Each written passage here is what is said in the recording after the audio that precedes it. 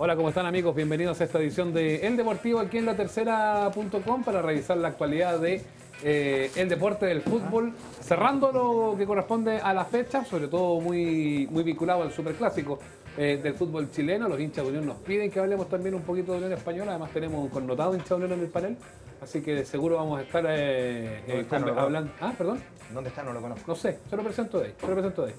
Eh, vamos a estar hablando seguramente también del líder, en fin, y ya entrando poco a poco en el modo selección, porque esta semana de selección y estamos muy atentos a ello. Junto a Adidas, que nos acompaña como siempre en esta edición del Deportivo, ayer fue la Adidas Maratón de Viña del Mar, la segunda carrera más masiva de nuestro país, la que se disputó eh, ayer allá en la ciudad Jardín, extraordinaria, y muchos de ellos con este Adidas eh, Ultra Boost Uncaged, el Unchanged, la zapatilla oficial de este maratón. Vamos con Nicole, tenemos pregunta para hoy. ¿Cómo estás, Nicole? Muy bien, Sebastián, ¿tú cómo estás? Bien, ¿Vio el clásico ayer o no? Obviamente.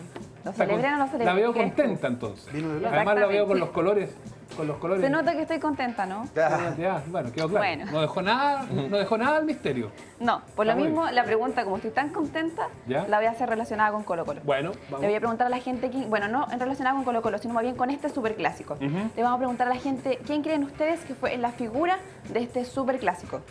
Tenemos cuatro opciones para que la gente pueda votar en el, en el arroba la tercera. Tenemos a Julio Barroso, tenemos a Martín Rodríguez, a Jaime Valdés o a Ramón Fernández. Son cuatro las opciones que tenemos en la encuesta publicada y si tienen otra opción también la pueden entregar con nosotros con el hashtag El Deportivo LT y la gente también que está viéndonos a través de Facebook. Vamos a ir leyendo a lo largo del programa como siempre. Mala onda con nuestro invitado, ¿ah? Pero ok, está bien. Ok, ok, se pasó. ¿Cómo estás? Don Álvaro, usted hizo la pregunta, ¿no es cierto? Yo hice la pregunta, Entonces, sí. Vamos a hacer la, la- la explicación aquí, delante del invitado. Está bien, está bien. ¿Dónde- No lo puso. Ah, no, no lo puse. Es que yo creo, que hubo cuatro jugadores que jugaron mejor que en el Superclásico, sin que él haya jugado mal. No, pues estuvo De un, hecho. un extraordinario partido. De Después hecho, lo es más, es más, o sea, no, no es que haya jugado mal, jugó bien. De hecho, pongo aquí que jugó bien. Ah, usted hizo la, usted hizo la evaluación. Además, nota? Las Creo notas que- y la evaluación. A ver, vamos a, voy a después lo saludo a don Mati, Luis Pedro Figueroa. Una de las figuras de hoy, gracias. Yo voy a, voy a corregir la injusticia No, que no está. Le puse un 5. Sí, le puso buena Eso es bueno. Un 5 bueno. ¿De 1 a cuánto? Es de 1 a 7. De una De una serie. serie, 5 bueno. Sí. Se esmeró en ocupar toda la banda derecha y no ser solo un arma ofensiva. Bien. Eso dije. Generalmente me sacaba 4 en el colegio, así que un 5 es. Y mi mamá era la más feliz, así que. Está muy Es que bien. de verdad para mí eso, eso fue la gran... La, la- o sea, para mí el, el- el avance que ha tenido eh, Luis Pedro en Colo Colo en estos últimos partidos es que yo siempre lo veía como una, un arma ofensiva importante Colo Colo cuando jugaba.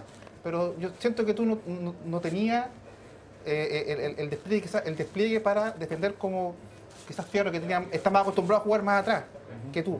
En cambio tú ayer, por ejemplo, ocupaste toda la banda, Toda la banda. Ya vamos a entrar en, la- en el análisis del partido. Déjeme saludar a un Mati. ¿Cómo estás, Zidane? Matías Parker con nosotros. La saluda en realidad aquí soy día, pero bueno. Fernando, como todos los lunes acá con nosotros.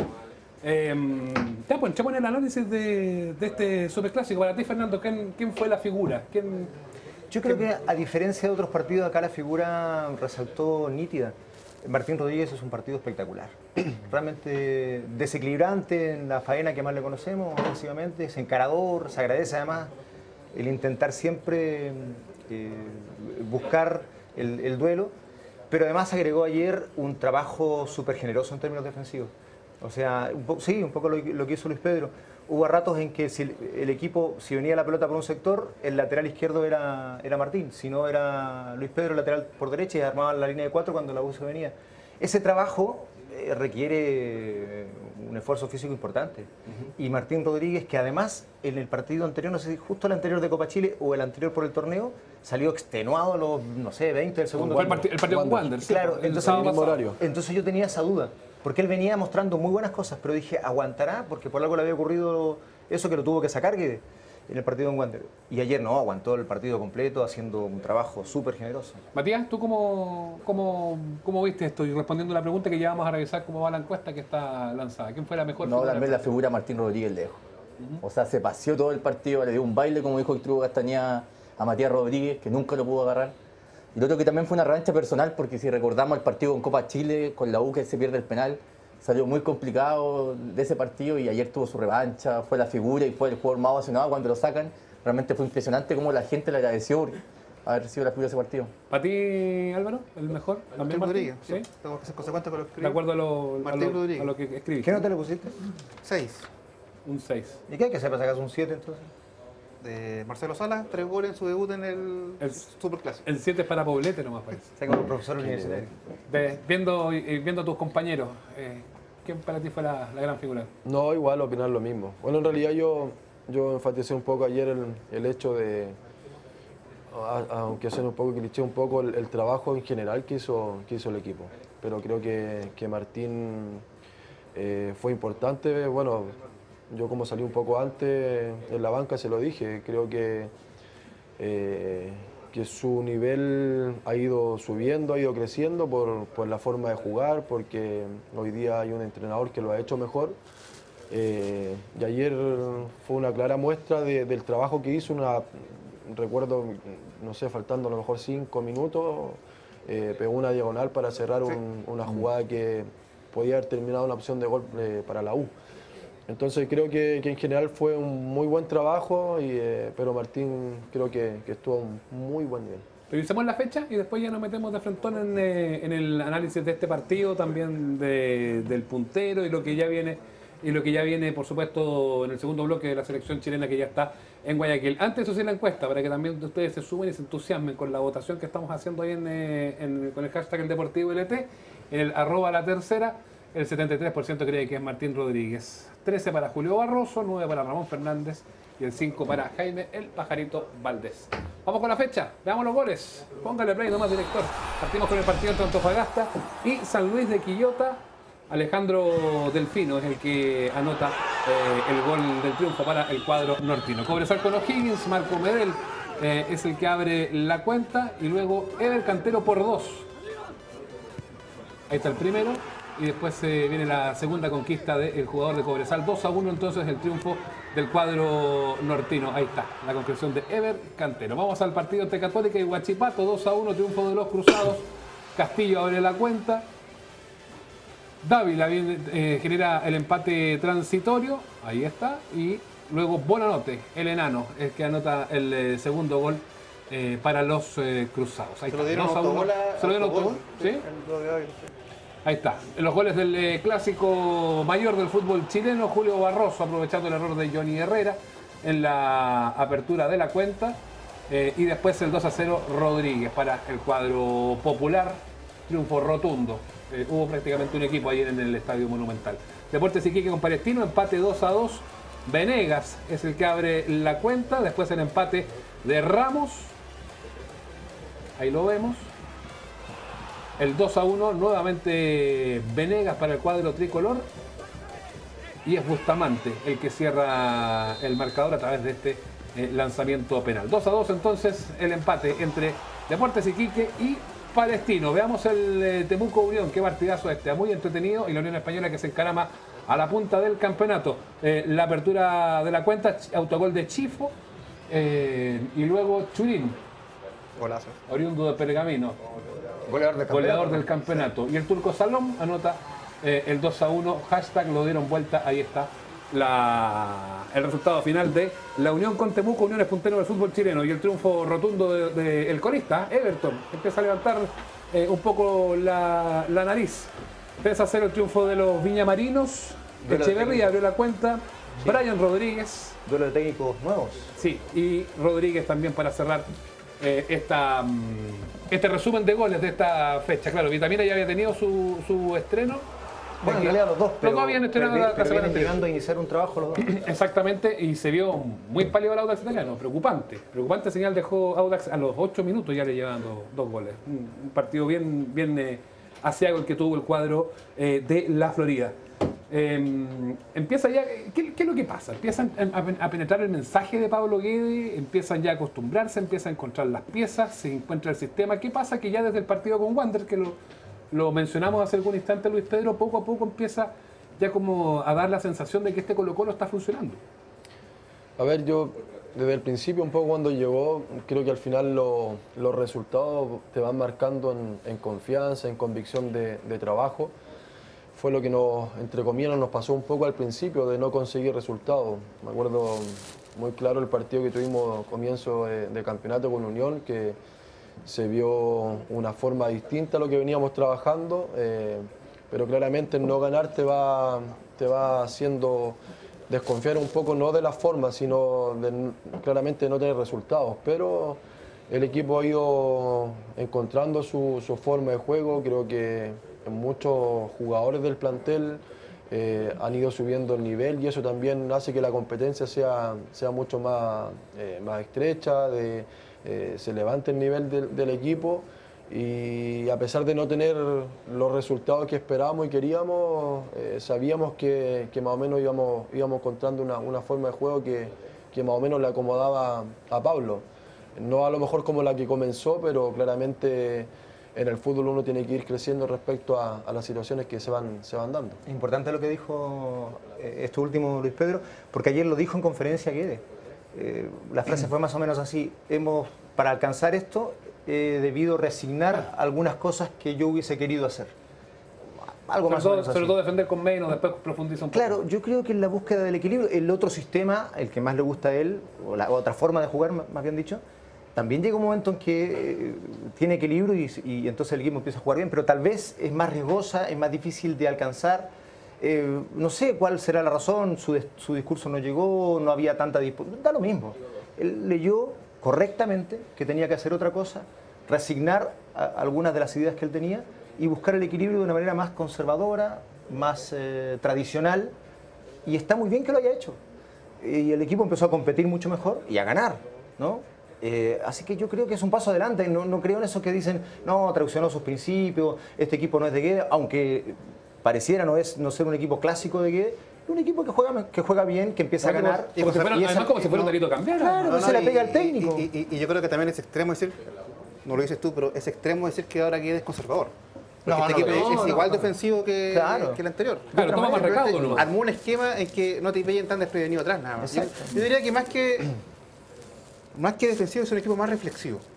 El, este Colo Colo. No, no, no, no va con 10 tipos al área rival. Se preocupa un poco más de, de, de que no, de que no te Apuesta a defenderse más con la pelota, cosa claro. que antes se reagrupa más que presiona. ¿no?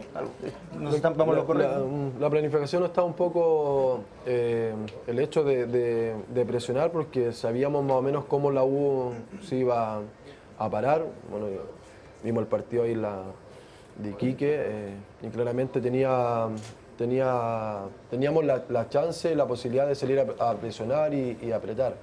Después se van dando situaciones o circunstancias del partido que eh, te hace esperar un poco más o conociendo también eh, las cualidades del rival. Eh, y en ese sentido lo más lógico era tener momentos de presión y otros momentos a lo mejor de esperar un poco más y salir pero yo un poco me quedé con el, empezando el segundo tiempo, en el segundo gol quedamos, quedamos 3 contra 2 en la definición de, de Martín Rodríguez. Eh, y el equipo sí un poco más, más, más atento a, una marca o a, a, perder la pelota y salir a presionar. Yo creo que eso, eso lo hicimos muy bien ayer.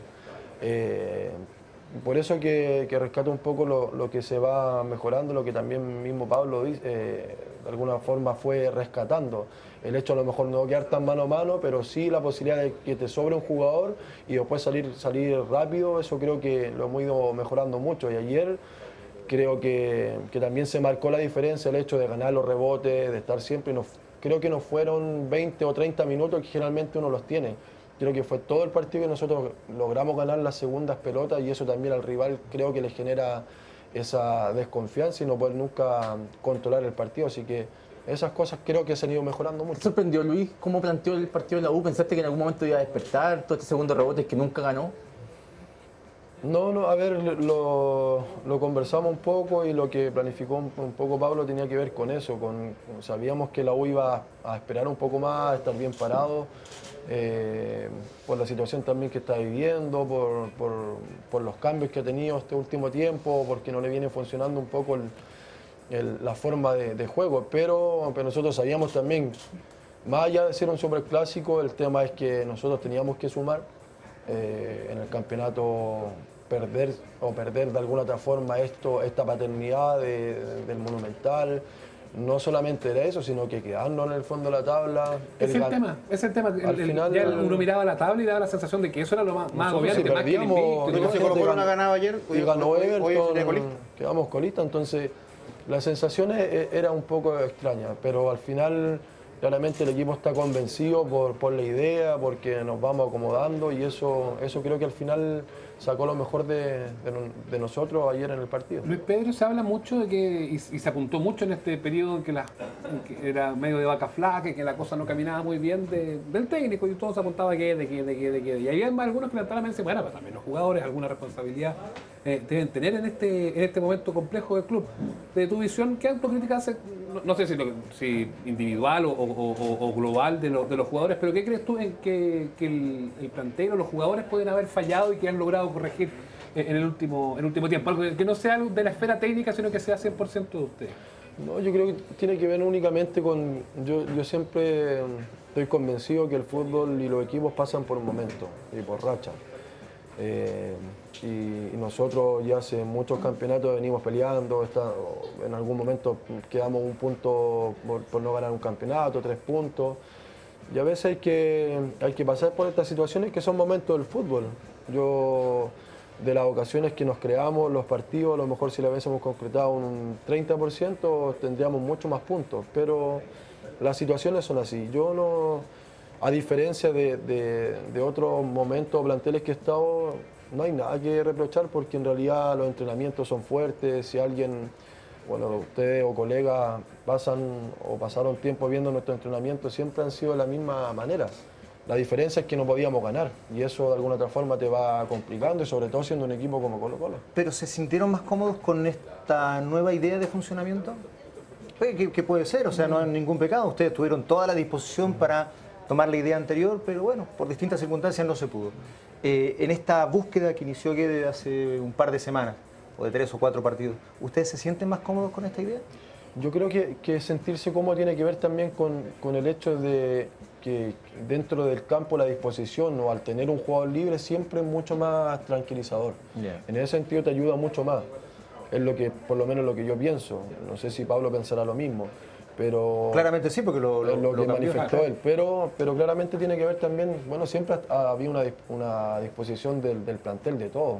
Yo, eso también me impresionó mucho, que, que lo que se hablaba un poco de Pablo, que todo este tema, pero la verdad que, que el- para poder llegar a, a- a cambiar o, o a modificar lo que veníamos haciendo, creo que el plantel tuvo una muy buena disposición. Después los resultados a veces se te dan, otras veces no, pero creo que, que el equipo se ha ido acomodando a, a- a la forma nueva que, que nos encontramos con un cuerpo técnico que en realidad no- nos sentimos bien. De algo sirvió la, la ruda y el vinagre, ¿no?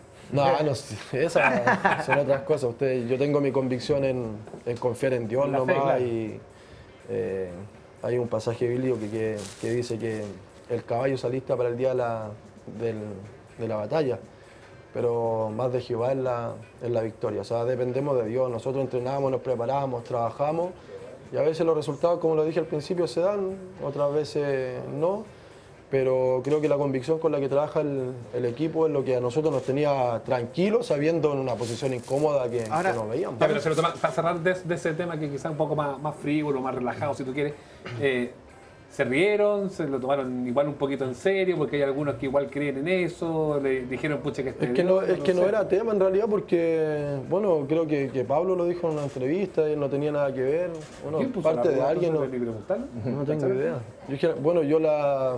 Generalmente sufro dolor de guata, así que. Tomá agüita ruda, agüita ruda. No, pero es parte de las situaciones que se dan. Yo, por eso Eso es te parte del folclore, pues, hay algunas, Sí, algunos ya que vemos varios que. Ahora era vinagre insoportable, ¿no? Eso, aparte, como, claro, tú dices, tenés que entrar y sentir. no, bueno, no, no- no nos pasó eso en realidad, pero, pero ¿Qué- en realidad todas las cuestiones que se hablan un poco de, de- de eso, lo mismo. De, Oye, en tu, en tu caso puntual, Luis Pedro, eh, este alza de Colo Colo un poco va de la mano o ha coincidido con tu situación de titular en Colo Colo. Igual eh, eh, no es fácil ocupar el lugar del capitán del equipo. ¿Cómo te has sentido en ese sentido como titular de- del equipo? Dándole, como, como hablaba en un comienzo, eh, como otras variantes por, la, por el sector derecho de Colo Colo. A ver, yo soy súper cuidadoso porque porque dentro del fútbol, a pesar de que uno siempre quiere jugar y ganarse un puesto, rendir, claramente hay, hay cariño, hay respeto, mucho. Yo, con Gonzalo nos conocemos hace muchos años. Y, la verdad la respuesta de él en esta, en esta situación, a pesar de que ya bueno, tenemos la misma edad, hemos pasado por selecciones menores, adultas, eh, hemos sido compañeros, eh, claramente hay una competencia y en ese, en ese sentido hay mucho respeto. Yo tengo o jugado de una forma, terminé jugando los Higgins, acá también llegué jugando de esa forma, no se me dieron las cosas como uno esperaba o quería, pero he sabido también esperar mi, mi momento y en ese sentido yo siempre lo he dicho, lo más importante para mí es, dentro de un plantel entregar lo mejor.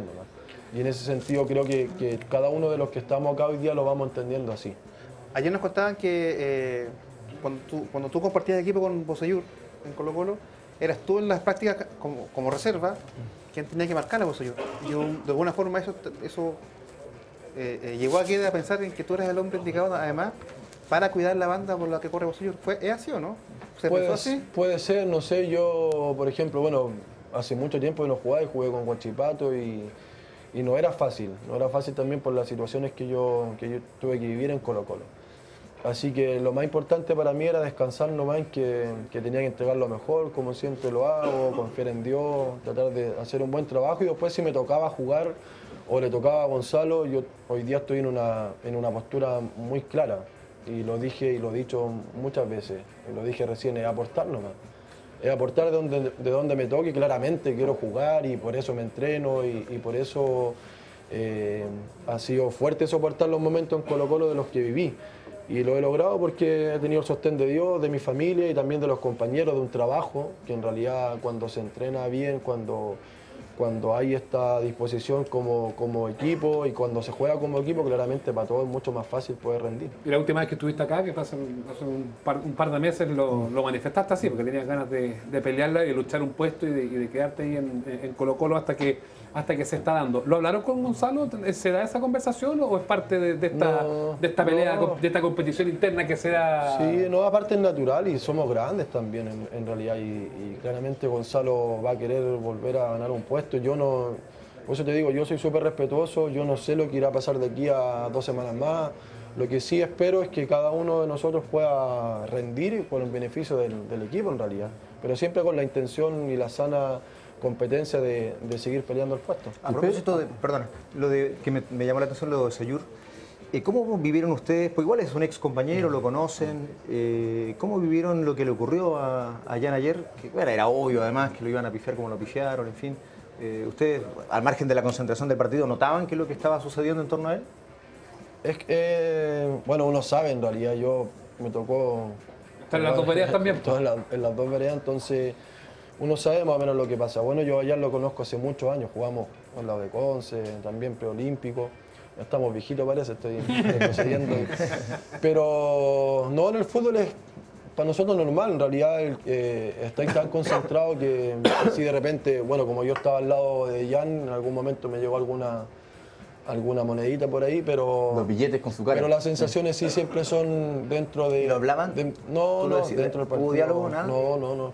No, porque en realidad estáis preocupados de poder rendir y saber que tenéis que defender tu camiseta, al igual que Jan le toca... A ver, en ya, esta Pero no existe un- lo, que te estáis lo que te están puteando, no, No, nada, ni lo que siquiera. pasa es que podéis, yo creo que podéis sacar un poco eso y jugar un poco con estas cosas, pero, Es una de pero esas, es una de esas que lo uno que mal, ya somos... lo puede tomar mal el otro y uno no sabe cómo Es que a veces no sé si en esta y época. cuando te conoces también Claro, es complicado. pero alguna época se Ahora, ¿tú crees eso. que ya le Sí, afectó? sí. Porque no hizo un buen, bueno, la en general no hizo un buen partido, pero Jan específicamente no, no, no jugó bien. No, pero es que a veces son momentos del partido nomás. Bueno, Jan tiene una, una carrera buenísima. Es muy difícil poder pensar que a alguien hoy le costó. Bueno, jugó finales de Copa América, entonces era, era una situación compleja porque claramente volví después de un par de meses nomás que estuviste ahí, que la gente lo iba a hacer sentir, pero, pero uno está, Ya, ya, entre pero comillas, preparado. Son 90, bueno, una situación incómoda de 30 segundos con- eh, en una situación así con otra persona eh, es compleja, algo dices.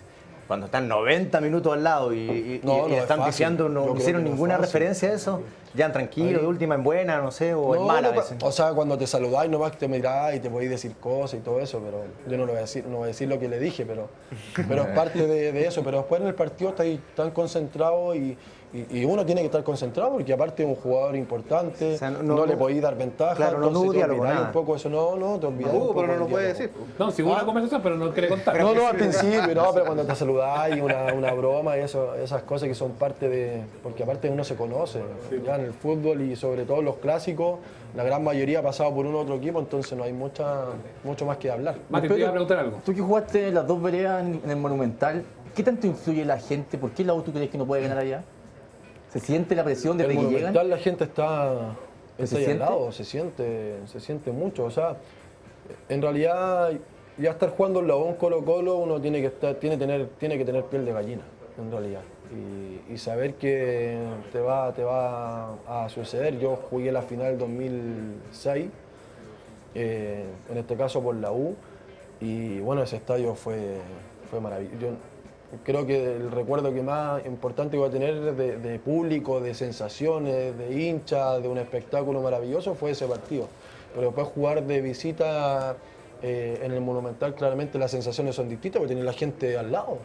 Al lado, entonces más, es más complejo, pero, pero un poco apartando eso, creo que el partido de ayer nosotros fue muy bueno en general y eso yo, yo no, no- no llevaría tanto el tema de, de que un jugador se pueda, le puede afectar, sí, a uno más que a otro, pero creo que ayer el partido de nosotros fue muy parejo en ese sentido y eso también le hizo ver mal a la U. Y esto, a propósito de esto del público, ya que, ya que entramos en esa, mm, en esa área, en ese, en ese tema, esto de los arengazos, banderazos, también les sirve a ustedes en lo, en, en- lo anímico, ¿no? Se ha discutido tanto sobre la prudencia de hacer o no hacer este tipo de, de- de actividades en la semana. Yo creo que eso siempre va a ser bueno, el hecho de tener el apoyo de tu, de tu hincha, creo que siempre eso va a ser rescatable en el fútbol. Lo que pasa es que se ha manchado tanto por el tema de la delincuencia, eh, saber que a lo mejor de un 100%, 80, el 80% quiere ir a animar a tus jugadores, que sientan tu apoyo, pero a lo mejor otros 20 van especialmente a destruir.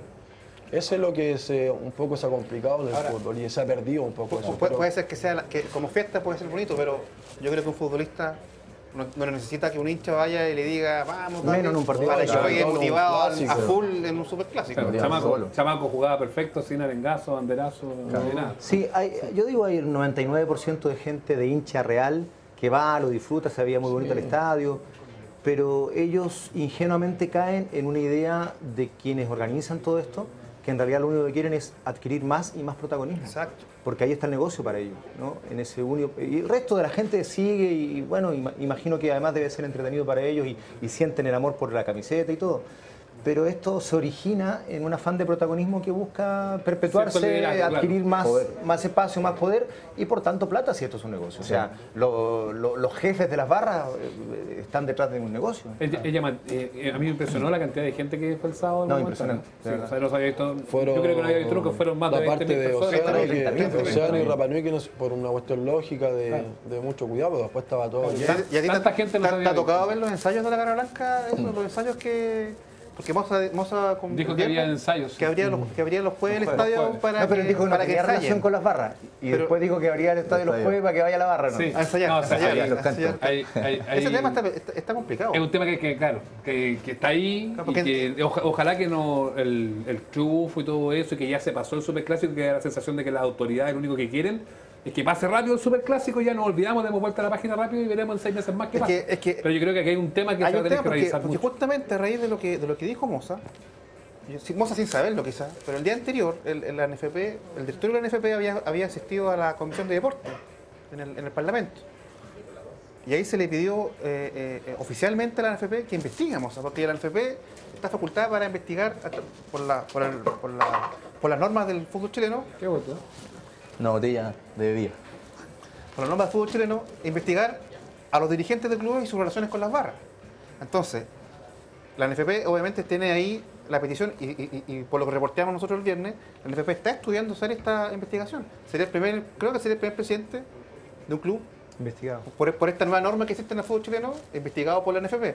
Y eh, por otro lado, estoy seguro derechamente le pidió a que transparente su relación con la, con la Garra Blanca. Entonces, yo creo que independientemente del triunfo, que están todos contentos con Colo Colo, ese tema es un tema que le va, Es un tema bien va espiritual. a provocar dolor de cabeza a Colo y que, a Colo y que- Colo. y que implica sanciones deportivas además. Que son Que se A la descubre, vez, claro. vez. Eh, eh, no recuerdo si fue aquí en la tercera o en, o en otro diario que mandó una carta, porque la denuncia la hace el diputado Matías Walker, que es integrante de la Comisión eh, de Deporte, y Moza mandó una carta Al Mercurio, al Mercurio el viernes pasado, en la cual decía, si tiene antecedentes que me liguen con esto, entréguelos a la justicia ahora, ya, de inmediato. Y si no, exijo que repare, que ofrezca sus disculpas o, algo. Es parte del, duelo que se da con esta denuncia que hizo, que hizo en la comisión Matías Walker y que después la dio en, alguna, en algunas entrevistas que hizo eh, en algunos medios de comunicación. Sí, y bueno, asociado a esto, no directamente a esto, pero digamos que en, el- en estas manifestaciones que se llaman de dos maneras distintas, pero es la misma manifestación de los hinchas del equipo, hubo incidentes. Porque Sí, pues, lo que sí. pasa es que eh, cuando ya son menores, como que ya es parte del tema, ¿no? Pero Es que- hubo que es incidentes. complicado que- Y en el clásico hubo incidentes. Yo Es a complicado que se hable de normalidad cuando eso no es lo normal. eh, claro, pero lo que pasa es que ya se ha acostumbrado tanto la gente y la autoridad y la, y la opinión pública a que cuando son dos, tres pedrazos da lo mismo. Cuando en realidad lo que, lo que hace remecer es lo que sucedió Wander Colo Colo. Pero yo ayer llegué, no sé, nueve y media de la mañana estaba en el estadio y entre las 10 y las 11 eh, hubo una guerra piedrazo limpio entre una parte de la barra de Colo Colo y, y la gente de la U que estaba en el sector Magallanes, se llama, ¿no? Sí, en la zona sur Pero estuvieron 40 minutos agarrándose a pedrazos, po. Entonces, pues, eso mí- normal ahora. Entonces, que a mí que no me vengan con que no hubo incidente. Si hubo incidente, pues grave. O sea, en otro lugar serio, con una autoridad seria, eso se habría suspendido. No se juega. O se habría tomado las, las providencias, no las providencias, se habría reaccionado. Era, era increíble. Carabineros tenía un piquete de funcionarios allí mirando cómo de este lado tiraban piedras para acá y de este lado para allá. Y ellos en medio. Entonces realmente algunos por dignidad profesional, pobres, son funcionarios, ellos tienen, están man- eh, quería reaccionar, hacía una corrida de 2 3 metros, el, el otro se iba, pero llegaban a, a tirar la piedra a 50 centímetros de ellos como desafiándolos además. Bueno, de eso no habló nadie, No, porque como con- eso ya es parte de la normalidad. Y con, no, y no se puede hablar de normalidad con 800, cara- 800 carabineros destinados exclusivamente a este operativo, tanto en el estadio como en la calle, con un paro de migreros en curso que no querían salir a la calle por temor a que les hicieran pedazos sus máquinas. Vamos a hablar de normalidad. No, no, no, hubo nadie. muertos, ok, no hubo muertos, fantástico. Qué bueno que no hubo, que, que no hubo víctimas, que no hubo, no hubo gentería. Pero es que no- estamos cayendo en una falsa normalidad. Es Yo que, estoy eh, de acuerdo con lo que dice Fernando. Es, eso ¿sí? es, eso es. Sí. En realidad de- na- nadie informó de eso porque ya es parte del tema. Y en realidad, y lo- las autoridades no hicieron alusión a esta situación tampoco porque es parte del tema. ¿no? Eso es lo que decía yo al principio, que es como que esperan que pase rápido, así como ya, ya, coge que no pase nada, que- Zafamos. que, zafamos, listo. Y después en seis meses más nos tiramos otra bombita de humo para pasar piola de nuevo. Eh, pasemos por la U un poquitito. Eh, esta Universidad de Chile, Matías, que no, que no, no levanta, se ve, se ve tan mal o incluso peor eh, por algunos pasajes del partido de ayer que lo que venía planteando el cuerpo técnico anterior. Es decir, ya, Víctor Hugo eh, y Lucho Murray ellos han dicho, esta, al igual como fue con Guede para la fecha de clasificatoria anterior, este, este receso va a ser bueno porque aquí vamos a hacer un trabajo y vamos a empezar a meter nuestro sello. Pero de todas formas dejan una muy mala señal en el, en el inicio del, del- del proceso Castañeda Murray. Claro, y no, lo que más habló durante la semana, que iban a apelar un poco a la mística, lo que significa Murray, lo que significa Castañeda para el club, ir a atacar a Colo Colo, ir a jugar igual igual y acabar con esta paternidad, pero nada de eso sucedió. Y Víctor Hugo, como conversamos con Luis Pedro antes del programa, fue muy sincero en su conferencia de prensa, o sea, los mató. Eh, nos dio en un baile, eh, mató directamente a la Gata Fernández, que, que él creía que jugadores con ese currículum, con esa trayectoria, obviamente espera algo más. Pero ayer se vio una Gata Fernández de que como que estaba jugando, No se, no se vio, no se vio. claro. Ahora, no, yo, no yo- tuvo yo- ser- yo le sumaría a propósito de este discurso de Víctor Hugo que, o sea, para nosotros como periodistas nos gusta, porque un técnico sea Sea sincero, y. Que, que diga, que comente el mismo partido que uno claro, vio. Claro, pero. O sea, Pero no, además- además con la Claro, muchas claro, con la veces- U nos muchas acostumbramos a que la veces- intensidad, veces- que lo desmedido y que, Claro. que llegamos, llegamos 25 veces, pero nos equivocamos nosotros dos veces y nos hicieron dos goles. Pero, pero muchas veces, y puede ser es parte de estos códigos del, del fútbol que, que siempre plantean los jugadores técnicos, eh, al, al futbolista no le gusta, no le gusta que, que- que se diga la verdad, lo, lo- lo que pasó en la cancha. Y lo digo porque antes del Superclásico, Castañeda también, en la entrevista que le dio la tercera eh, a, a Cama- a Camaño, él dice que Herrera no está en su mejor nivel. Dice Herrera eh, eh, podría estar mejor, ya lo hablé con él, me dio sus razones. eh, y ojalá que vuelva, vuel- que retome el nivel que, el- que, que le conocemos. Da la sensación que Herrera está jugando, si no, si no lesionado, con viene arrastrando alguna molestia. ¿Está lesionado? Sí. Sí, la- Matías, sí. ¿qué, es lo, qué es lo que se dice eso? Tú que estás constantemente ahí en el centro. La lesión que tenía Johnny Herrera era para un mes, un mes y medio, dos meses. La lesión que se produce después del partido, en el partido con Antofagasta. Claro, ¿esa? una 15 medial grado 2 en la rodilla derecha. Sin embargo, sus ganas de jugar, sus ganas de, de levantar a Becachese, en ese momento estaba un momento muy, muy tenso, lo, lo, lo hicieron jugar, lo hicieron exponerse y ya ayer no podía sacar. Sacaba ese turnante, Vilche. Y, entonces, obviamente, da una, da una licencia para Colo Colo que, si uno se da cuenta, los tiros de Ramón Fernández siempre iban cargados hacia la derecha, que era la, la rodilla que Johnny tenía mala, que le costaba desplazarse. De hecho, obviamente, da ventaja. Habría, bueno, yo no soy especialista en esto, pero un preparador de arqueros podría analizar la jugada del primer gol, que fue clave, como todo partido donde él sale mal, a ver si la pierna de rechazo Claro. efectivamente era esa y, y eso lo... Puede ser. Y, y si no, hay un tema que te perturba, el saber que no estás al 100% y todo. Porque el primer gol es un error grosero de Johnny y ahí se abre el partido completamente. Y yo, a propósito de la U, también se lo quería preguntar a Luis Pedro si lo sintió en la cancha. Y lo, dije, lo dice Victorio Castañeda, el equipo no compitió. Y incluso yo creo que fue muy certero en su conferencia, porque él dice, yo creo que hasta el primer gol, sí, Colo Colo tenía un- era un poco más que nosotros, pero nosotros estábamos ahí. Y yo creo que tiene razón. Y en el primer gol se abre todo. y el primer gol es clave y tiene que ver con... Y el equipo, eh, en- este caso tus rivales, eh, Luis Pedro, se caen anímicamente, lo dice Víctor Hugo también, y ya dejan de competir. ¿Lo sentiste un poco así también dentro de la cancha? Como que el equipo rival ya eh, había como bajado los brazos, como que no, no, no, no, no, no sacaron una reacción que uno- podrían haber esperado ustedes. ver, por lógica, como, como todo partido, sobre todo un clásico, los primeros 10 minutos creo que un poquito ahí evaluando lo que, lo que va sucediendo. Yo tenía la sensación, o, o después de un poco de esos 10 minutos, y cada vez que nosotros podíamos armar una jugada y atacar, creo que le hacíamos siempre daño. Esa era mi sensación. Eh, creo que también a veces habían opciones de jugar un poco por derecha, pero pero se optaba por izquierda, pero aún así, habiendo más gente por izquierda, siempre tenía la sensación de que, iba- que íbamos ganando. Entonces eso yo creo que uno mismo cuando tenía esa sensación es como, ¿qué hacemos? ¿Te cuesta parar?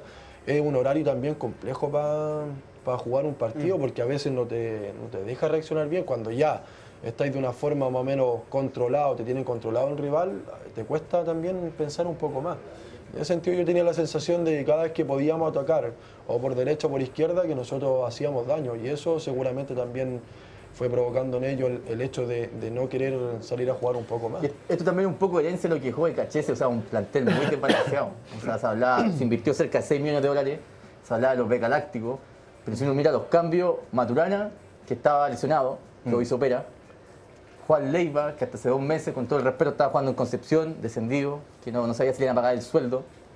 Y también tenía en la cancha, en la cancha a Mario Briceño, que es un jugador juvenil, Una apuesta. fue- una apuesta. Entonces no son jugadores que te pueden ganar un superclásico. O sea, se le lesiona a Felipe Mora y la uno tiene otro nueve. Es que ese es el tema.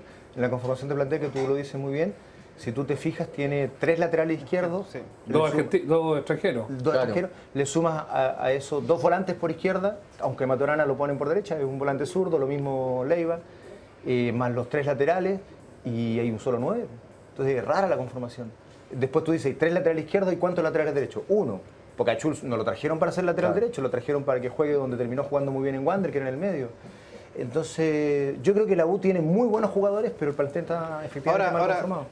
Vamos a empezar la, la discusión si, si, si, si lo que pasó ayer es herencia de Cachese o también hay un problema técnico con, de Castañeda y Murri. O sea, Víctor Hugo y, Lu- y Lu- y- y Luis lo que han dicho es que eh, los han pillado con partidos entre medio, que no están llegando, que en No, pero han ayer se, tenido se poco- equivocó en plantear el partido. han tenido poco, han Sí. tenido poco entrenamiento y por eso es lo que yo decía hace un rato atrás, que ellos confían que en esta fecha doble de la clasificatoria, en estos eh, poco más de, de 10 días que van a tener, tratar de meterle un poquito el sello, el sello más futbolístico. Independiente de que es, es evidente que hubo errores a la hora de plantear el, el- el duelo, el duelo de ayer. Matías, eso, tú que est- estás ahí en la U, ¿cómo lo eh, va por ese camino, no? O sea, ellos confían mucho en este, en este receso, así como les pasó en la fecha ante- en la fecha anterior de la clasificatoria Colo Colo. Claro, de alguna manera aprovechar estos 10 días, casi 14 días, de, para recuperar la mejor versión física de los jugadores, tienen muchos jugadores complicados. Por eso mismo se aprovecha de operar ahora Maturana para volver lo antes posible. Y sin duda que Víctor Hugo apuesta a levantar, sabe que tiene tres meses para poder mostrar lo que sabe hacer para que le renueven el contrato, pero está bastante desmotivado y decepcionado por lo, que- ha visto. O sea, el mismo Luis Murray, que, que cuántas veces fue al Monumental, peleó en el Monumental, gritó en el Monumental, Y ayer se agarraba la cabeza y no podía entender cómo la Gata Fernández perdía balones infantiles, cómo la Gata Fernández no corría todas las pelotas. Y que ya un momento cuando, al minuto 60, cuando la Gata no me acuerdo bien qué pelota pierde, ya mira Castañeda y dice ya saquémosla. Y mete a Maturana que estaba lesionado. Y eso es increíble porque la U, perdiendo 1-0, quedó sin delantero. Porque No tenía. Claro. quedó solo con vol- volantes con llegada, pero no tenía ningún delantero en cancha al final del partido. Pero tú sabes que, para mi gusto, la gata, que jugó muy mal, fue el peor partido que haya jugado en la U, tiene atenuante. Porque él no es nueve. Él, y jugó todo el partido de espaldas al, al arco rival, casi como un 9, un eje de ataque, que no es su puesto. Él es un agente ofensivo, yo diría que más media punta que otra cosa. Tampoco, que tampoco es un, un organizador, es un media punta. Es lo que en la década del 80 llamamos un 9 y medio, ¿se acuerdan? Y en eso anda muy bien, pero tiene que estar de frente al arco y todo. Pero ayer recibiendo de espalda con los defensores muy cerca de él, era muy difícil. Está bien, jugó muy mal, pero creo que la posición lo ayudó poco también. Pero también va la actitud de la. Gata, más allá de cómo juega la actitud. O sea, en el plantel quedó dando vueltas cuando Sí. se pierde ese penal con Cobresal, no sé si te acuerdas tú. Sí. Que podría haber sido el empate, podría haber ganado y quizás se quería ver cachice ahora. Entonces, obviamente que ahí, desde ese momento en el plantel, da vuelta de que realmente la Gata es muy displicente. Ah, bueno, y tú me das un dato que yo desconozco, claro. Eh, bueno, si, si es así y tú sabes más la interna que, que yo, claro. Demos vuelta a la página, porque tenemos que hablar de la selección. Tenemos un contacto pendiente con, con eh, Quito, eh, con Guayaquil. Están en Guayaquil en este minuto, después se van a, a Quito, pero antes les quiero hablar de estas que usan. Lo- ayer en la en Adidas Maratón de Viña del Mar lo usaron todos, los chascones, los pelados, todos participaron con, eh, esta, con estas Ultra Boost Uncaged, la zapatilla oficial de la Adidas Maratón de Viña del Mar que se disputó ayer allá en la Ciudad Jardín, que fue una fiesta maravillosa, la segunda maratón más concurrida, eh, la segunda corrida más concurrida de nuestro país y ahí estuvo por supuesto presente Adidas como siempre. Usted, usted, yo sé que usted lo único que quiere es tener esta, esta Sí, zapatilla. ¿no? lo quiero porque. Sí. Tiene eh, elementos que son realmente Ahora, notables. el experto aquí en, en el gimnasio. En, Parte de la Parker, entonces. Parker. ¿Me la apoya? No, no se la puede llevar. Todo. ¿Qué número La- es? mira, la gente que viene, la 44, la gente ya la revisé porque me queda con bueno. buen Eh, lo- los invitados que no haga eso, ya le dije. ¿No? no se ve bien, no se ve bien. Todos los invitados vienen, la encuentran bonita y todo. La gente que viene acá de la tercera, me la puedo llevar. Todos quieren Yo pegarla no me la quiero llevar. Yo la quiero comprar. Todos quieren pegar la garrapiña, pero Yo la ¿hasta cuándo? yo ¿Hasta cuándo? Bueno, Pase la parque porque él va a ser mi modelo hoy día, porque le quiero dar alguna- algunas A- a esa propiedades de esta zapatilla. Bueno. La parte superior Prime Knit tiene un sistema de soporte exclusivo que entrega un refuerzo ideal, la tecnología Boost. Brinda la mejor respuesta que cualquier otra zapatilla, sobre todo para las largas distancias. La suela Stretch Web se flexiona naturalmente y la goma Continental aporta tracción superior. Ya lo sabes, Adidas Ultra Boost Uncaged, la zapatilla oficial de este Adidas Maratón de Viña del Mar que se disputó ayer allá en la ciudad Jardín y que fue un éxito, por supuesto. Pasa por acá, yo la voy a guardar y yo la voy a cuidar acá, porque todo el mundo la quiere porque es realmente maravillosa. Nicole, ¿qué dice la gente? Redes sociales, hashtag el Deportivo LT. Sí, tengo varios comentarios de la gente que está mirando el Deportivo, tanto a través de Facebook como a través de la gente que también nos sigue por Twitter. Vamos a algunos comentarios de la gente que nos sigue primero a través de Facebook, porque por ejemplo Pamilo, eh, Camilo Palomino dice, Martín Rodríguez, el 14 de lo blanco, es un crack. Saludos para el programa y aprovecha de decir que gracias Luis por apurar a Fierro. Alonso Nostroza dice, y se la juega por Julio Almirante Barroso. Pablo Parada dice que se notaba que Herrera no estaba para jugar. Le costaba tirar- eh, tirarse para su lado derecho, incluso atajaba a mano cambiada, para no caer sobre su rodilla afectada. como Igual atajó harto Sí. y deja los saludos desde Chillán. Eh, y también Edgon Guzmán dice, la figurita del partido fue Herrera que marcó el error que le dio la chance a Colo Colo. Del otro lado, Martín se la jugó con toda. Algunos comentarios también de la gente que nos sigue a través de Twitter. Por ejemplo, Fabián Correa dice que buen clásico, feliz por el equipo de mis amores, a seguir trabajando porque Palestino es uno de los mejores equipos de Chile. Maco dice que gran entrega Figueroa, como dice un viejo refrán, menos ruda, más canutos. Y también Marco Van- Bahamontes dice, por lejos Martín, pero es un- en general todos estuvieron excelentes. Se vio un gran equipo en la cancha. Lo que comenta la gente. Parte de, los- de los mensajes que llegan, hashtag el Deportivo LT, te leemos, eh, tenemos una pasadita más, Mati. Ojo con Herrera, que si bien ya tuvo una falla en el primer gol, quizás su rodilla no, no- no lo ayudó mucho. El segundo tiempo, Luis Pedro, yo creo que si no es por él, ustedes ganan 5 o 6-0. Sí, sí, tapó bastante Herrera después de, de- Los después de esa Ramón. Sí. Un- ¿Qué, qué puedes decir? Sí, no quiero hablar mucho del Real. No, no, no. Está El gol, que se comió, el gol que se comió Saldía, eso, ese fue. ese debería ser el tercero. Uno que se que pifia en el. ¿Tú le diste el pase? No, no, no, ¿No? Yo estaba más atrás. Lo que pasa es que fue una pelota detenida No, y después no. se armó una segunda jugada, si no me Sí, pero no me acuerdo que le dio el pase, de- pero sí, estaba en, en el área chica. Ya, pero defensa con los pies, imagínate. Entremos, Despejó. entremos en órbita selección. Por fin dirán los hinchas de la Universidad de Chile. Entremos en la órbita selección. eh, em, ya está en Guayaquil, están llegando eh, de a poco. No pasaron por, eh, por Chile. Eh, algunos dicen para ahorrarse un viaje, que se entiende y que no parece malo, pero por otro lado uno dice, bueno, es, es una cosa totalmente distinta esta que se vayan directo, a, directo al, al- al lugar donde se juega el partido. Sí, uno asume que lo- entiendo que es el plan para aclimatarse al, al alto. A- Pero están primero en el llano y después pasan a la altura. Exacto, pero que en es- Guayaquil. Sí, yo, No, se ahorran no, un viaje. o sea, sí. yo- sí, es un tema logístico. Ahora, eh, no.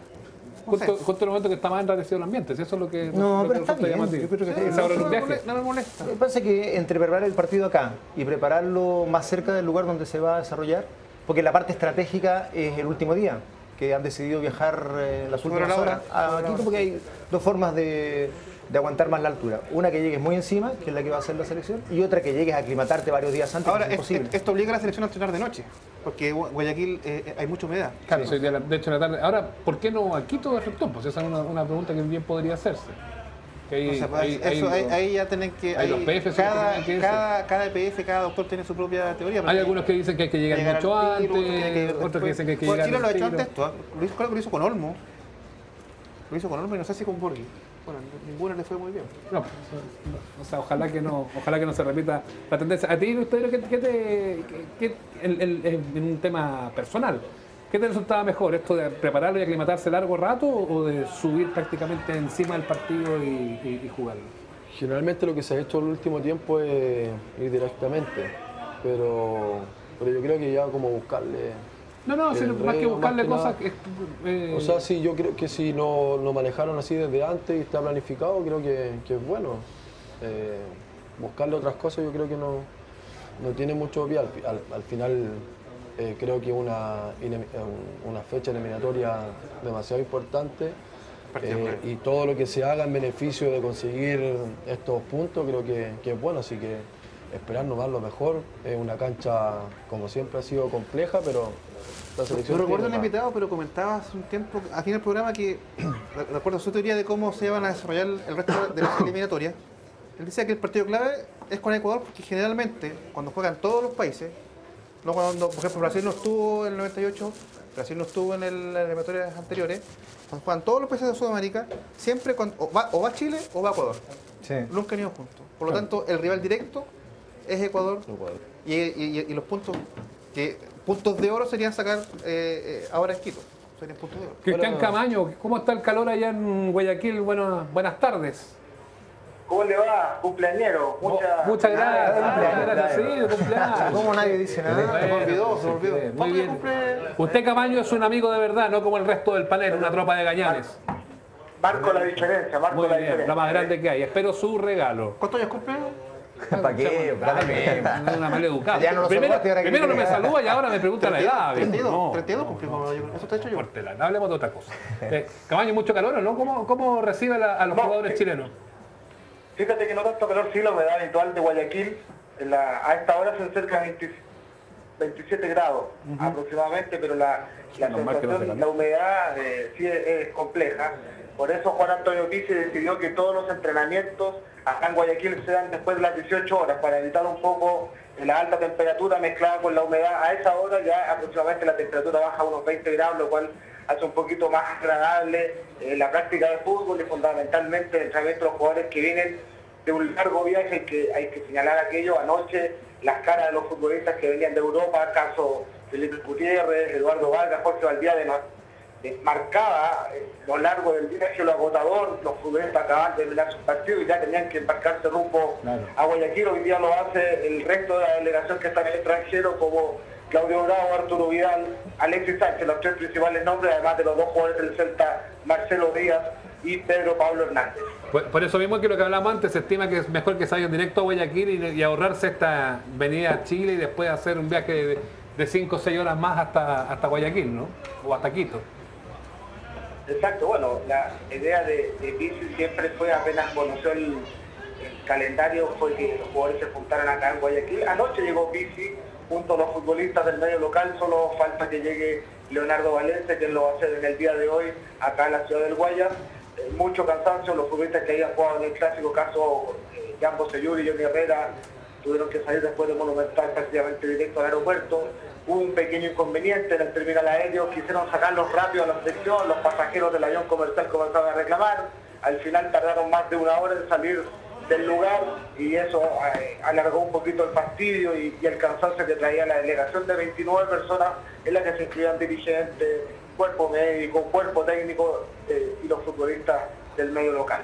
Oiga, Camaño, un amigo lo, lo quiere saludar. No, no, por favor dígame las iniciales de ese amigo. No, no, lo va a saludar directamente. ¿Cómo estás, Camaño?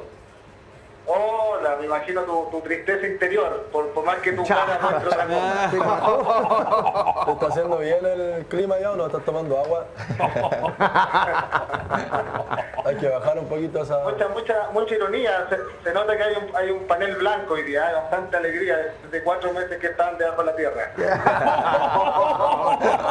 Al hueso. Oh, los fierrazos que se están dando acá. Está ¿eh? picado, está picado, se nota que está picado. está enojado, Qué está bueno que estés picado, Camaño.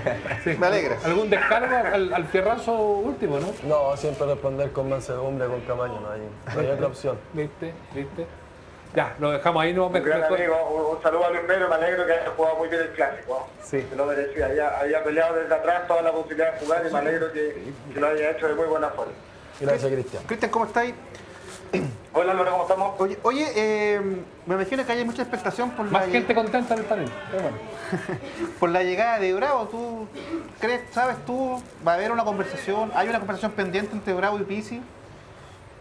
Sí, lógicamente, por todas las situaciones que se vienen viendo desde fines de agosto, entre la renuncia de, de Bravo por motivos personales, después las discrepancias en la versión oficial, en que se establecieron lesiones, posteriormente Pizzi tuvo que insistir con el tema de motivos familiares, y ahora esta situación de Rodrigo Gómez, que claramente ensombrece aún más la, la situación del, del liderazgo del técnico y el peso que tienen eh, los jugadores más importantes de este plantel, en un momento delicado de selección donde la posición de la tabla séptimo lugar apremia un poco, el rendimiento tampoco es de los mejores y, y seguramente es el momento en- en- en- para aclarar todas las dudas, todas las discrepancias que ha habido en el último tiempo e intentar eh, sacar a flote este barco que no está hundido, pero que sí presenta algunas grietas que es mejor arreglar ahora antes de que sea demasiado tarde.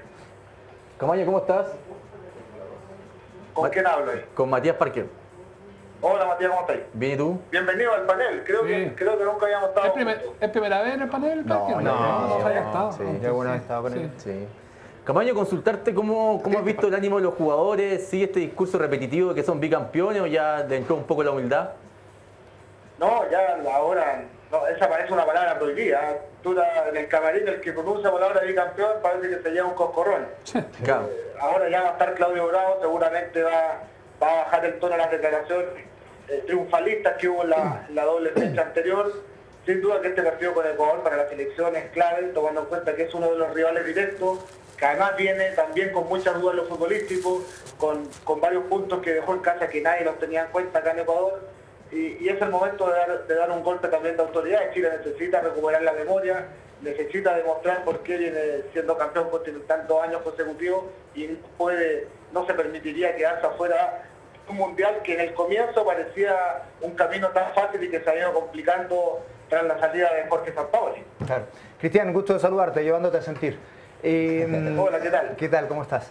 Oye, la gran pregunta, pues, en la interna y tú que has podido reportear, ¿Valdivia va como titular o va a ser ocupado algunos minutos como reacción al partido en el segundo tiempo? No, yo creo que Valdivia está pensado por el cuerpo técnico para el partido contra Perú en Santiago. Yo, yo creo que la idea de Pizzi es otra acá en, en Quito. Lógicamente que la altura es un factor que tiene muy considerado Pizzi a la hora de armar el 11 titular. Tiene futbolistas que, que vienen muy bien, no solo en lo futbolístico, sino que también en lo físico, y va a intentar aprovechar ahí eh, jugadores que a lo mejor no han aparecido mucho en la alineación titular en el último tiempo como para como para plantear un partido inteligente a partir de la posesión, a partir del control del balón y no intercambiar ataque por ataque, que sería algo suicida acá en, en la altura de Quito.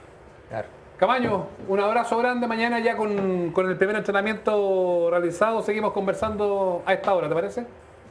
Igualmente, un abrazo de nuevo para ti, Sebastián. Saludos a Luis Pedro que, que está sufriendo con su familia. ¿ah? Que estén bien. Chao, chao. Ok, vale, ok. Ah, y se tira el, el tierrazo y se despide. Bueno, es así. Vas a tener la posibilidad de descargarte contra Camaño o contra lo que tú quieras, porque hay eh, remate directo ahora para que lo vayan pensando. Son 30 segundos libre disposición al cierre de nuestro programa. Vamos, eso sí, primero con Nicole, que está eh, en las redes sociales de nuestro programa. Nicole. Sí, tengo algunos mensajes, pero aquí en Twitter, porque en Facebook la gente ha comentado, pero más sobre lo que hemos hablado a lo largo del programa. Igual, muchas gracias a la gente que nos sigue a través de Facebook. Eh, Fabián Correa vuelve a comentar con nosotros y dice, solo después del partido sabremos qué tan buena fue la estrategia. El hincha quiere a Chile en el Mundial, habla sobre lo que va a pasar con la selección chilena. Volvemos a lo que pasó al principio, la, gente sigue comentando lo que pasó en el Superclásico, porque Héctor Garrido dice que la figura fue Martín Rodríguez, jugó a un gran nivel. Antonio González dice que Luis Pedro Figueroa ganó el puesto a fierro. Felicitaciones, hizo un gran partido. Eh, preguntan también, Freddy Vázquez dice, ¿por qué no se hizo el círculo de honor en el Superclásico? Una pregunta que quizás podrían comentar ahí en el panel. Se preguntó en algún minuto, ¿no? ¿Lo dijeron o no? No, es- nosotros es lo algunos partidos que, sí. que tocan, no es en una, bueno, la- esta fecha fue en Antofagasta eh, y más o menos se va, se va viendo ese tema igual. Habría En sido los bueno en un- clásicos, en- habría sí, sido bueno en un clásico, ahora es difícil, Pero clásico. también la, la sensación en un clásico es, A veces, claro, a es veces, a complicado. veces no da. Algunos sí, otros no, entonces Pero sí, dividido. bueno, sí, eso- eso- Habría sido bueno. Siempre es bueno, Siempre es bueno eso. Habría sido súper bueno. Ya, vamos con los remates directos. El último va a ser Luis Pedro. ¿Qué, qué más por la casa? Yo. Vamos, Poblete. 30 segundos. Ahí se prepara la cámara 33 de nuestro programa. que apareció. Preparados, listos ya. A propósito de gestos, uno importante contra la lucha, eh, o sea, la lucha contra las barras bravas, contra la violencia, hace tiempo se está perdiendo. El gesto tiene que venir de la NFP. Tiene que investigar a Moza, tiene que investigar sus presuntas eh, eh, relaciones con la barra brava de, de Colo Colo. Sobre esos gestos, quizás no se va a encontrar nada. Quizás no se va, no se va, no se va a definir nada, pero son situaciones que se deben realizar. Porque cuando se, cuando se, plantea algo y queda en el aire, al final es palabra perdida. Vamos al NFP. Tienen la oportunidad de investigar a Moza porque él mismo ya planteó que tiene una, una relación con Colo Colo. Le abren el Monumental todos los jueves para que ensayen sus cánticos en el estadio. Es el momento de hacer esa investigación. Poblete se la juega entonces con su remate directo. Fernando. Y, y en el mismo tono, pero vamos a hacer otra cosa. distinta. Ya, 30 segundos, pero pueden complementar, ¿ah? no es necesario que sean temas distintos. Ya. 30 segundos desde ahora, ya. A propósito del tema de la violencia en los estadios, para que una vez terminado el clásico no escondamos la mugre debajo de la alfombra y preocuparnos a seis meses más, como que la autoridad se afuera. ¿Existe real voluntad política de sacar a los violentos de los estadios? Yo me pregunto por lo que sucedió en la última semana, cuando el intendente de la región metropolitana, el señor Orrego, había dicho no a estos actos de manifestación de los hinchas previos a los partidos.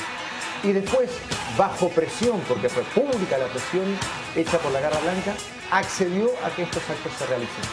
Es decir, si la autoridad política tiene ese nivel de dudas, entonces ¿qué le puede quedar a la autoridad deportiva?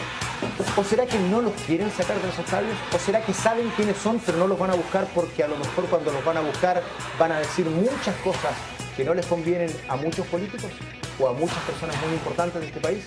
Hay un ejemplo, un barrista acusó directamente a Ruiz Tagle, que alguna vez fue ministro del deporte. O sea, nexos existen. Fernando, ese tiro con Tuti, está bien. A propósito de este, de este tema. Luis Pedro, Yo la bajo, muy agradecido. su remate directo, ahí está la cámara, de seguro va a ser un mensaje para la hinchada Alba. 30 segundos desde ahora ya. Eh, bueno, como siempre, solo agradecer a Dios por la oportunidad de haber jugado un nuevo superclásico, eh, por sostener los momentos difíciles y también a mi familia, a mi esposa, a mis hijos, eh, de saber que son la única fuerza que uno tiene para seguir adelante eh, y siempre seguir luchando. Así que solo gracias y la gloria a Dios. Pedro Figueroa con nosotros, gracias por venir a acompañarnos. ¿eh? A ustedes por la Gracias por- invitación. por agradable día- hablar de fútbol. El día siguiente de, de los partidos de los clásicos, incluso cuando se gana a veces cuesta, cuesta poder tenerlo y, y hemos, hemos tenido aquí una hora eh, con nosotros, muchachos, un placer. ¿eh? Y la torta, la producción no trajo torta, nada. Que iban a traer todo. Sí, pues yo como para cantarle el torta. cumpleaños feliz, Oiga, todo. usted. ¿Se acuerda que la semana pasada estuvo Superman cumpleaños Vargas el lunes y Sí. hablamos de Selman Sí. y... Sí. ¿Le Bueno, mostramos el video? le- te mostramos el video. Ya. Le dejó un, un recado. Ah, Selman. Póngale play. A ver qué dijo. Lo escuchamos. No, no se escucha. De nuevo, de nuevo, de nuevo, de nuevo, de está equivocado, está, está, está de nuevo. de nuevo, de nuevo, de Después va a decir que no quiso escucharlo Para que me entero. grabe, para que le mande el mensaje después a ellos. Primero que todo, El señor Solabarrieta al señor Salabarrieta y al señor, y al señor Parga. Primero que todo, el señor Salabarrieta, si no sabe que trabajo acá, está equivocado, está, está, está en otro mundo. Ah, debe venir de Marte para saber que no trabajo acá. Segundo, el señor Vargas y el señor Solabarrieta, cuando gusten, cuando gusten, nos enfrentamos acá, acá, cara a cara, un, un face to face, no hay problema. Ah, con un ring, sí, con un ring. Sí, pero, pero no me gustan las cosas, perdón, perdón, déjeme terminar. No me gustan las cosas que cuando yo no estoy presente se descarguen, porque eso lo hacen los cobardes. ¿Listo? Es un personaje. Listo. ¿Le Cuando quieres dejar un mensaje, me encanta. Nosotros trabajamos juntos como una. Yo lo sufrí un año entero en el, en el, Zoom- en el Zoom Deportivo, así trabajamos juntos. Y, y no, y tú sabes que, honestamente, nuestra primera relación no fue buena. No, alguna vez él se enojó por una crítica que yo le hice y me mató en un diario, Ah, me sí. mató mal en un diario. Y después nos tocó trabajar juntos y nada, como en la cancha, ya está, ya pasó, se ha enojado conmigo, no, yo no, yo tampoco, no sé qué, abrazo. Y es una, una persona, a- aparte de ese personaje más o menos real en la vida, pero es muy, pero es un tipo muy, muy simpático y muy buena persona, un, un- Es un que hombre bueno. sigue pensando que árbitro, yo creo, ¿no? No, se dice que Hay que verlo en la casa. Lo que no quiere decir que me quisiera enfrentar a él cuando quiera, face to face como él quiere, a discutir mano a mano.